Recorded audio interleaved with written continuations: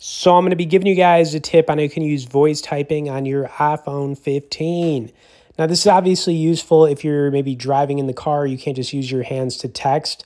And it's actually pretty easy to do. So you just want to open your uh, message app here. You want to click on this little microphone option, and then you're just going to start talking. Now, it's going to make a little beeping noise to let you know that it's working. And obviously, when you want to stop talking, you would just hit the little button right here, and then it'll stop. I will say this about using this voice texting on, you know, uh, especially this iPhone, it's very good. You know, it really picks up the words good.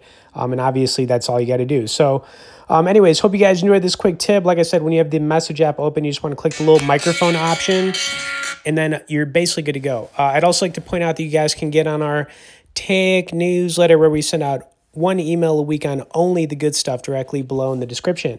As always, thanks for watching this, guys, and we will see y'all in the next video.